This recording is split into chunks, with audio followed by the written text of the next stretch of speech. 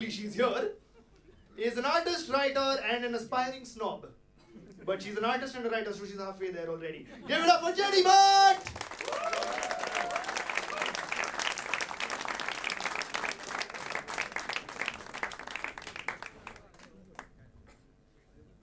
Okay, guys, I must warn you that I have a cold, so I'm going to sound a little stuffy. But then that's how snobs sound. So just play around. Okay? I have to tell you that I'm sick and tired of hearing the F word. Oh, fat! I can't eat that muffin. Oh, fat! I've had too much chocolate. Oh, fat! Look how much these people can eat. Oh, fat!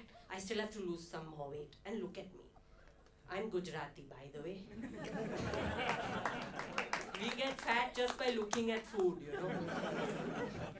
Titan Eye is coming out with the world's first sugar-free contact lenses, and uh, they're to be like condoms for the eyes. Keeps the sugar out of your sight.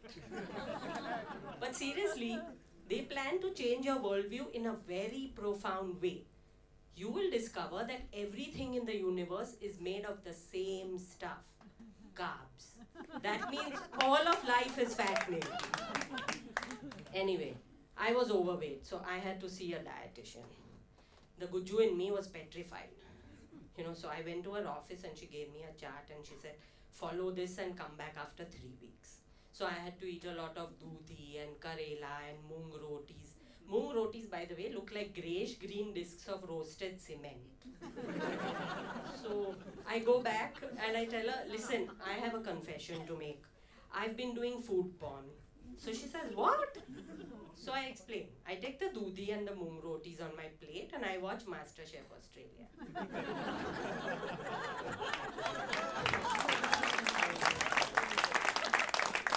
And uh, speaking of porn, how many of you are regulars here at the comedy store? No, at the store, not with the porn. and how many are women? See, they'll never admit it.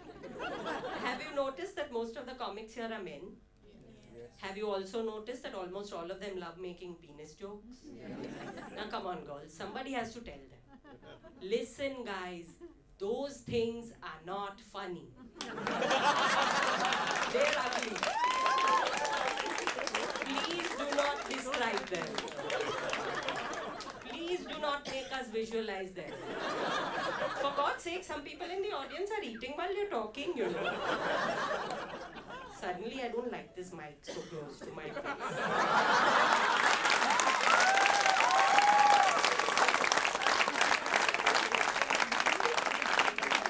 They really don't seem to get it, you know. We women don't like that kind of porn.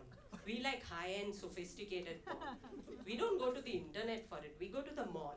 we go to Zara and Burberry and Louis Vuitton, and we let out the shoes and the bags and the clothes. That's what we like. By the way, did you know that there were types of food porn? Like there's dessert porn, okay? Hot chocolate sauce on top of gooey chocolate cake, two of the same type together. then there's sandwich porn. You know that odd threesome, two buns and a cutlet in between?